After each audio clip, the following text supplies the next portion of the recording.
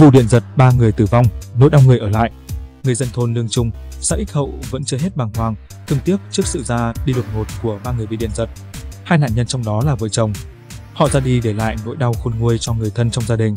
Vụ tai nạn điện xảy ra vào sáng nay, mùng 3 tháng 6, tại thôn Lương Trung, xã Ích Hậu, huyện Lộc Hà, Hà Tĩnh. Vào thời điểm trên một người dân thôn Lương Trung đang đi ra đồng, khi ngang qua nhà ông Lê Xuân Thuyết, 48 tuổi, thì tá hỏa phát hiện ông Thuyết tử vong dưới chân cột điện phía trước nhà. Cách vị trí ông Thuyết bị nạn không xa, người này tiếp tục phát hiện thêm bà Hoàng Thị Hải, 44 tuổi, vợ ông Thuyết và ông Nguyễn Đức Thao, 50 tuổi, bạn ông Thuyết cũng đã tử vong. Ngay sau khi nhận được tin báo, Công an huyện Lộc Hà phối hợp với cơ quan chức năng và đơn vị nghiệp vụ Công an tỉnh Hà Tĩnh nhanh chóng có mặt phong tỏa hiện trường, tiến hành điều tra làm rõ nguyên nhân vụ việc. Được biết, vợ chồng ông Thuyết có 5 người con, trước giờ hai vợ chồng làm nghề buôn bán rau, quả ở chợ trong xã. Từ trước tới nay, người dân thôn Lương Trung chưa bao giờ phải chứng kiến cảnh tượng tăng thương quá lớn đến như vậy khi cùng một lúc đột ngột có 3 người bị điện giật tử vong. Trong đó hai người là vợ chồng. Sau khi xảy ra sự việc, chính quyền xã Ích Hậu và bà con xóm làng gác lại công việc hàng ngày để thay nhau đến từng nhà thăm hỏi, động viên, chia sẻ nỗi đau mất mát, cùng sắn tay phụ giúp gia đình chuẩn bị tổ chức đám tang cho các nạn nhân được trọn vẹn, chu đáo.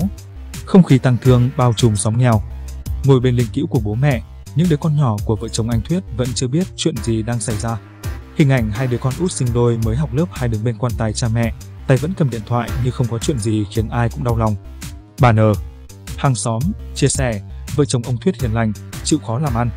Họ có 5 người con, đứa đầu mới lập gia đình, hai đứa út sinh đôi mới học lớp 2. Vợ chồng ông ấy mất đi để lại mấy người con nhau nhóc thật sự rất đau lòng. Từ khi nghe tin hai con gặp nạn, cụ Điệu, mẹ ông Thuyết, ngất lên ngất xuống nhiều lần. Những lúc tỉnh, bà cụ lại khóc nghẹn, các con ơi, sao con lại bỏ mẹ, bỏ các cháu ở lại mà đi. Các con đi rồi ai là người chăm sóc các cháu đây? Tiếng khóc của cụ Điệu khiến người thân, hàng xóm càng thêm đau đớn, xót xa. Theo người nhà ông Thuyết, sáng nay ông Thao qua nhà vợ chồng ông Thuyết chơi.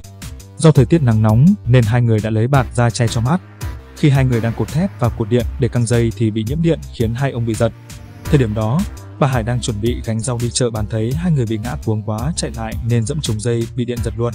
Cách đó không xa là nhà bà Đặng Thị Trinh, vợ ông Thao. Gia đình bà Trinh cùng hàng xóm cũng đang tiến hành lo tang lễ cho ông Thao. Cùng chung nỗi đau như gia đình ông Thuyết, trong căn nhà cấp 4 lụp sụp của gia đình bà Trinh, tất cả mọi thành viên trong gia đình như ngã quỵ trước nỗi đau. Bên cạnh chiếc bàn thờ lập vội, những người thân bầu víu lấy nhau trong tiếng khóc xé lòng. Vợ chồng ông Thao có ba người con gái, cuộc sống gia đình đặc biệt khó khăn. Cách đây không lâu, người em trai của ông Thao cũng vừa qua đời vì căn bệnh ung thư. Trao đổi với phóng viên, ông Nguyễn Sơn Quân, Chủ tịch Ủy ban nhân dân xã Ích Hậu cho biết, gia đình các nạn nhân cũng đông con, vợ chồng họ chăm chỉ làm ăn để nuôi các con ăn học. Giờ lại xảy ra sự việc thương tâm như vậy. Sau khi xảy ra sự việc, chính quyền địa phương cũng đã đến thăm hỏi, động viên, chia sẻ nỗi đau mất mát cùng với các gia đình nạn nhân.